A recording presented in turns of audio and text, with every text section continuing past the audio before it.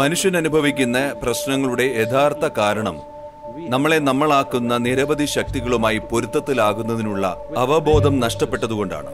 നിങ്ങൾ ജീവിതത്തിന്റെ താളവുമായി പൊരുത്തത്തിലായാൽ രാവിലെ മൂന്ന് മണിക്ക് ശേഷം എപ്പോഴെങ്കിലും നിങ്ങൾ ഉണരും. ആ സമയത്ത് നിങ്ങൾ ദീക്ഷ സ്വീകരിച്ച് സാധന പരിശീലിക്കുകയും ചെയ്താൽ അതിന് അങ്ങേയറ്റത്തെ ഫലമുണ്ടാവുന്നതാണ്.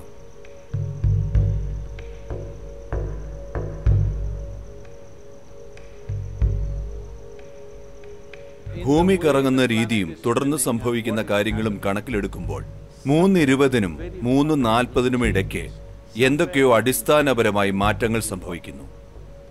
ഈ സമയമാണ് ബ്രഹ്മമുഹൂർത്തം. ഇതിന് പ്രഭാവം ഉണ്ടാവുന്നത് മുപ്പത്തിമൂന്ന് ഡിഗ്രി അക്ഷാംശങ്ങളുടെ പരിധിക്കുള്ളിൽ മാത്രമാണ്. നിങ്ങളുടെ മാനസിക ശാരീരിക വ്യവസ്ഥ ഒരു പ്രത്യേക രീതിയിൽ പ്രവർത്തിക്കുന്നു. ഇതൊരു സാധ്യതയാണ്. അതുകൊണ്ട് അതുകൊണ്ട് ഈ സാധ്യത പ്രയോജനപ്പെടുത്തുന്നതിനുള്ള ഒരു താല്പര്യമുണ്ടായിട്ടുണ്ട്. നിങ്ങളുടെ ജീവിതം ഒരു ഉൽപ്പന്നമാണ്. നമ്മൾ പ്രപഞ്ചമെന്ന് വിളിക്കുന്ന നിരവധി സംഗതികളുടെ ഉൽപ്പന്നം. നിരവധി സംഗതികളെ നമ്മൾ അസ്തിത്വം എന്ന് വിശേഷിപ്പിക്കുന്നു. അതുകൊണ്ട് വിശ്വമെന്ന് നമ്മൾ വിളിക്കുന്ന അസാധാരണമായ ഒരു പ്രതിഭാസത്തിന്റെ അങ്കുരങ്ങളാണ് നമ്മൾ. ഞാനോ നിങ്ങളോ ഒരു വ്യക്തി എന്ന നിലയിലുള്ള അസ്തിത്വമല്ല. അതുകൊണ്ട് നിങ്ങൾ പൊരുത്തത്തിലാകുമ്പോൾ ചില പ്രത്യേക കാര്യങ്ങൾ സംഭവിക്കുന്നു. നിങ്ങൾക്കറിയുമോ യു എസിലെ ടെന്നീസിയിലുള്ള നമ്മുടെ ആശ്രമത്തിൽ ഒരു പ്രത്യേക തരം ചീവീടുകളുണ്ട്. പതിനേഴ് വർഷത്തിൽ ഒരിക്കൽ മാത്രമാണ് അവ ഉറക്കമുണരുക. അതിശയമല്ലേ? പതിനേഴ് വർഷമാകുമ്പോൾ അവയ്ക്കറിയാം അവ ഉണരുകയും സന്താന ഉൽപാദനത്തിനു ശേഷം വീണ്ടും ഉറങ്ങുകയും ചെയ്യുന്നു. അവ സമയം പാലിക്കുന്നു. പതിനേഴ് വർഷത്തിൽ ഒരിക്കൽ ഉണരുന്നു. ഒരിടത്തും ഒരു അലാറം പോലും മുഴങ്ങാതെ. നോക്കൂ ഇതെങ്ങനെയാണ്? കാരണം അവർ പ്രകൃതിയുമായി പൊരുത്തത്തിലാണ്. നമ്മൾ പ്രകൃതിയുമായുള്ള പൊരുത്തം നഷ്ടപ്പെടുത്തിയതിനാൽ അതാണ് നമ്മുടെ പ്രകൃതമെന്ന് കരുതുന്നു. അല്ല.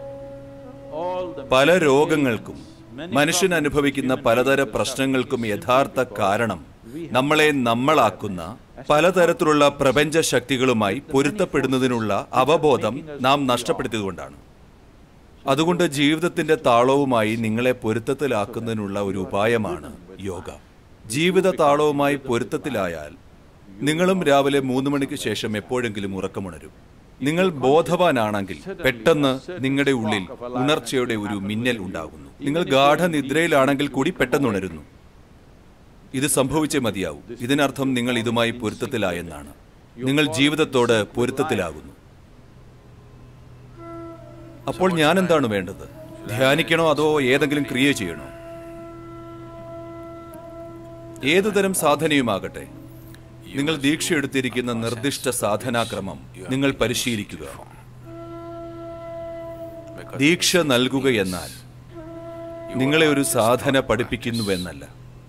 പകരം നിങ്ങളുടെ വ്യവസ്ഥയ്ക്ക് പരിചിതമാക്കുകയും നിങ്ങളുടെ വ്യവസ്ഥയിൽ നട്ടുപിടിപ്പിക്കുകയും ചെയ്യുന്നു. അതുകൊണ്ട് എന്തായാലും നിങ്ങളുടെ ഉള്ളിൽ ഒരു ജീവത്തായ വിത്തുണ്ടെങ്കിൽ.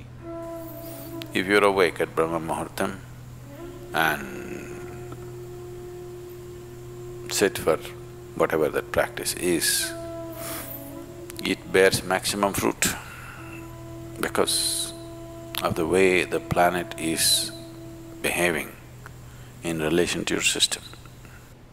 നിങ്ങൾ ബ്രഹ്മമുഹൂർത്തത്തിൽ ഉണരുകയും എന്നിട്ട് ദീക്ഷ സ്വീകരിച്ച സാധന പരിശീലിക്കുകയും ചെയ്താൽ അത് അങ്ങേയറ്റത്തെ ഫലമുളവാക്കും. ഈ രീതിയിലാണ് നമ്മളുടെ ശരീര വ്യവസ്ഥയോടുള്ള ബന്ധത്തിൽ ഭൂമി പ്രതികരിക്കുന്നത്.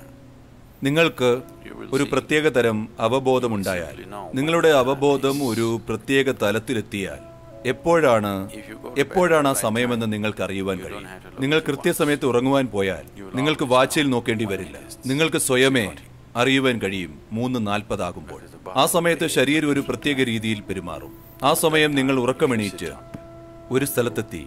നിങ്ങൾ ദീക്ഷ സ്വീകരിച്ച സാധനാക്രമം പരിശീലിച്ചാൽ അത് ഏതെങ്കിലും പുസ്തകത്തിൽ നിന്നുമാകരുത് അത് പരമാവധി ഫലം നൽകുന്നതായിരിക്കും. ഈ സമയത്ത് നിങ്ങളുടെ ഉള്ളിലെ വിത്ത് മുള പൊട്ടുന്നതിനുള്ള സാഹചര്യം ഒരുങ്ങുകയോ? അല്ലെങ്കിൽ മറ്റേതു സമയം എന്നതിനേക്കാൾ വേഗത്തിൽ വളരെ വളരെ വേഗത്തിൽ വളരുന്നു. ഇത് ദീക്ഷ സ്വീകരിച്ചവരുടെ കാര്യമാണ്. നിങ്ങൾ ദീക്ഷ സ്വീകരിച്ചില്ലെങ്കിൽ നിങ്ങളൊരു പുസ്തക യോഗിയാണ്. അപ്പോൾ മൂന്ന് മുപ്പത് ആറ് മുപ്പത് ഏഴ് മുപ്പത് തമ്മിൽ യാതൊരു പ്രയോജനം ഉണ്ടാവില്ല. ഇക്കൂട്ടർക്ക് സന്ധ്യാസമയമാണ് ഏറ്റവും പ്രയോജനം. സന്ധ്യാസമയം എന്നത് സൂര്യോദയത്തിന് മുമ്പുള്ള ഇരുപത് മിനിറ്റും അസ്തമനത്തിന് ശേഷമുള്ള ഇരുപത് മിനിറ്റുമാണ്. അല്ലെങ്കിൽ അസ്തമനത്തിന് മുമ്പുള്ള ഇരുപത് മിനിറ്റും അസ്തമനത്തിന് ശേഷമുള്ള ഇരുപത് മിനിറ്റും അർദ്ധരാത്രിയും ചന്ദ്രനും തമ്മിൽ ഇതുപോലുണ്ട് പക്ഷേ പ്രകൃതത്തിൽ വ്യത്യാസമുണ്ട്. അതുകൊണ്ട് ഈ രണ്ട് സമയങ്ങളിലാണ് ദീക്ഷ സ്വീകരിക്കാത്തവർക്ക് കൂടുതൽ അനുയോജ്യം. മൂന്ന് നാൽപ്പത് ശക്തമായി ദീക്ഷ സ്വീകരിച്ചവർക്കാണ് പ്രയോജനം.